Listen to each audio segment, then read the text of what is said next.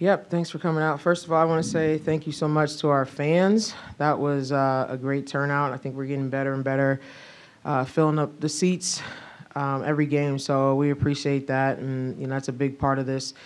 You know, sorry to the fans that we couldn't you know close this game out on our home court, but um, thought the first quarter and moving into the beginning of the second quarter kind of killed us. We punched early. They punched back, and we just didn't respond for a little bit. Um, and, you know, we had a couple of defensive lapses and things like that that didn't go our way. And, you know, we got to continue to build. You know, it's a process, and this is the building process, and we'll get better. Uh, Coach, uh, a four-point game with six minutes to go. What do you wish you had done better down the stretch?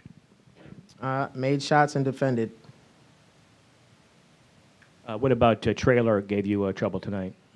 Uh, she did, and you know we were there were some things that we always say KYP know your personnel, and there were some things that we were supposed to be doing on her uh, that we didn't, and she ended up with 25 points. So that's you know errors that we have to clean up. Um, you know I thought when we did do it right, she didn't score, so uh, we got to get better at that, and you know just better at some things on defense and.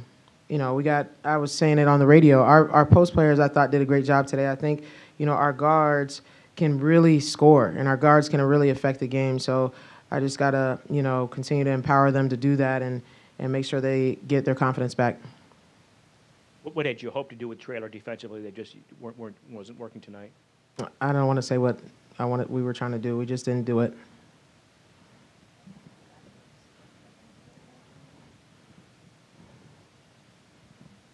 Coach, I was just curious, what were the conversations like in the huddle when you all did realize, hey, we can we can kind of go down low and kind of affect their big and Liz Kitley there?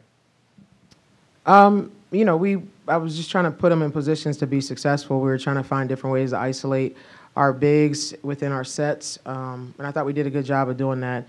Uh, we, you know, one of the keys was to win the battle on the boards. We didn't do that. They out rebounded us, and I thought we could have had more second chance points um, if we crashed the boards, and then also limited them to you know one and done if we did a better job on the defensive board. So, um, you know, our guards actually help us rebound a lot, and you know, our, our it's a total team effort. So, you know, that's something that we can control, and I didn't think we really did that. But but as far as getting the ball inside, we did exploit what we wanted to in their defense, and I thought Cam, you know, really put the team on her back when she subbed back in with two fouls. Um, London came off the bench and was really a beast inside um, and sparked our team. So I think you know our bigs did a good job. Um, I guess you know taking care of the paint. You mentioned Cam coming into the game there in the second quarter, uh, helping to turn things around. You go down 15 points at that point. What did you like about how your team responded to that? You know, when it, the game could have gotten out of hand there. Yeah, I, I mean, we kept fighting. You know, um, persevering through adversity. We had a lot of adversity. We had foul trouble. Things weren't going our way. Um, Cam was a foul trouble really early, um, which is something that she's working on and we're trying to get better at. But um, I thought she did a good job of coming in and being aggressive without fouling because she had two fouls, but she was super aggressive, was putting points on the board, sparked us on the defensive side, and then everybody kind of raised their level. Lex came in, and you know she she had some really good defensive possessions, uh, push tempo and and transition, things like that. So. Um, I think Cam sparked that for sure with her energy, but um, we just got to be consistent and do that for 40 minutes. Coach, um, just got to ask you. Just seems like from you know comparing last year, this year, it seems like you've brought a lot to this program, a lot of energy and a lot of passion. But overall, when you look at the season so far, where do you feel you are right now as a program and as a team?